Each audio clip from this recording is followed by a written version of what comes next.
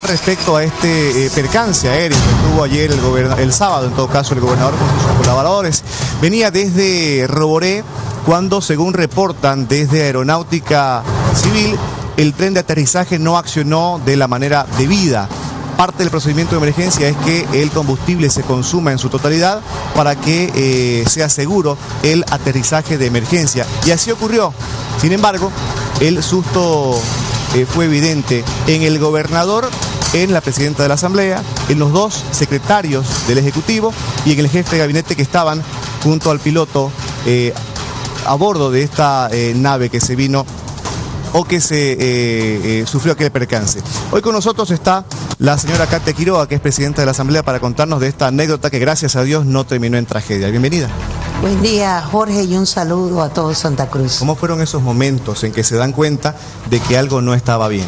Bueno, fueron momentos difíciles.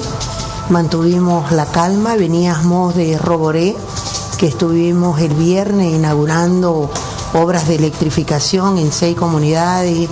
Estuvimos en la noche en Santiago haciendo el inicio de obras de refacción de la iglesia el sábado en el desfile cívico y al mediodía inauguramos la feria ganadera. A las 2 de la tarde, ya terminadas nuestras actividades, eh, retornábamos, fuimos al aeropuerto de Roboré, volamos hora y cuarto, eh, ya al llegar al aeropuerto bajamos para aterrizar y volvemos a subir y ya el piloto nos dice que teníamos problemas con el tren de aterrizaje, de que iba a estar sobrevolando y que iba a hacer alguna operación de subir y bajar para ver si salía el tren de aterrizaje.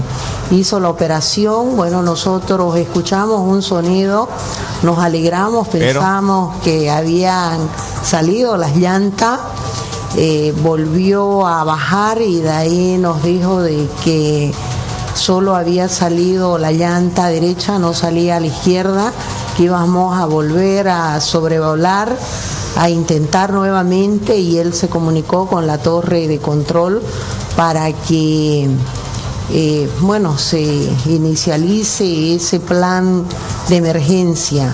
El gobernador en esos minutos, éramos dos mujeres y tres varones, dijo que él ya había sufrido este tipo de percance, que estemos tranquilas. ¿Se mantuvo sereno él? Él se mantuvo sereno, yo creo que él nos mantuvo serenos a todos también. El piloto, eh, una persona también joven, serena, hizo una buena operación y bueno, creo que somos bendecidos, damos gracias a Dios. Eh, después de esa segunda operación ya no salió la llanta izquierda y bueno, nos dijo de que íbamos a bajar nuevamente y que íbamos a aterrizar con una llanta. Hizo un buen aterrizaje el piloto, eh, aterrizamos, luego cayó la parte de, la llanta izquierda y era donde estaba sentado el gobernador. Eh, sonó la lata, arrastró y en ese momento cuando vimos humo, eh, fuego fue que nos asustamos, pero ya estábamos en tierra, eh, ya paramos, ahí creo que fueron los momentos donde más nos asustamos. La puerta, como fue la que cayó y era a su lado, también costó que abra. Él también en ese momento nos volvió a calmar y ya salimos ileso, gracias a Dios, eh, al piloto que hizo una muy buena operación y agradecemos, agradecemos. ¿Quién es el piloto? Jorge Cuellar se llama, un piloto joven y a los bomberos, a las ambulancias, estaba activado todo el plan de emergencia también. Agradecemos todas esas muestras de solidaridad que hemos recibido, no solamente del Departamento de Santa Cruz, de todo el país, y nos compromete, nos compromete para seguir trabajando, ya que el departamento es grande, Jorge, son 56 municipios, nosotros lo recorremos en avioneta, Santa Cruz es grande, por tierra y creo que eso es lo que necesitamos, ese apoyo para tener esa fuerza y seguir trabajando por este departamento. Un momento crítico, pero gracias a Dios no se eh, lamentan cosas mayores más que el, daño a la, nave. Hablemos un poco de eh, lo que viene a ser eh, la gestión. Se sabe que están llegando como 400 indígenas para plegarse a esta vigilia que ya lleva un buen tiempo instalada en las afueras de la gobernación. ¿Qué van a hacer? Bueno, el gobierno autónomo departamental con sus dos órganos legislativo, ejecutivo, hemos atendido a esta marcha chiquitana que llegó a la gobernación.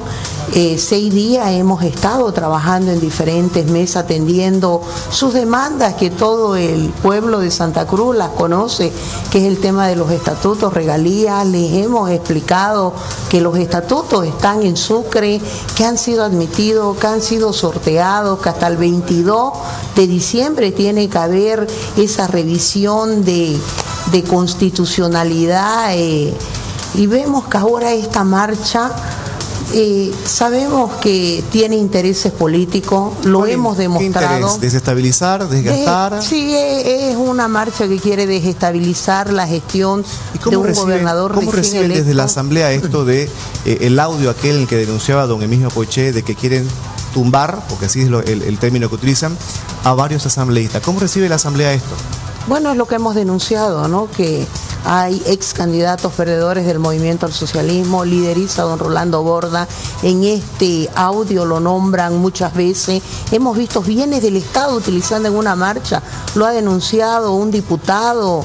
Y no vemos hasta ahorita las autoridades que tienen que velar por los intereses del departamento que se que se pronuncie, no he visto al fiscal que lo cita, don Rolando Borda, que cita a la gente de yacimiento. El día que bajamos los asambleístas trancaron las calles, yo no vi a la policía, ¿dónde está nuestro comandante? Es cruceño, siempre he luchado para que nuestros comandantes sean cruceños, pero veo que las autoridades que tienen que actuar de oficio no lo están haciendo en poner orden en este departamento. Esa marcha no tiene razón de ser, engañan, son dirigentes que engañan a la gente para que vayan, pero igual, desde la Asamblea siempre va a haber esa predisposición de diálogo. Para eh, concluir, ¿qué se le dice a estas personas que habían anunciado cercar Santa Cruz, pero también cercar el domicilio del gobernador? Bueno, son abusos que quieren cometer a un departamento netamente productor donde damos la seguridad alimentaria a todo Bolivia. Siete de cada diez personas se alimentan. Aquí tiene que actuar el Ministerio de Gobierno, la policía. No podemos venir con este tipo de amenazas que las escucho hace mucho tiempo. Cuando probamos el estatuto también nos amenazaban con cercarnos. Ahora nos amenazan con cercarnos, con cercar al el domicilio son abusos que no se pueden seguir cometiendo y que las autoridades tienen que actuar. Le quiero agradecer, señora Quiroga, por su tiempo. Gracias, Jorge, y un saludo a todos Santa Tenga buen día y buena semana. Seguimos con más, 7 con 3, Marco Antelo, por favor.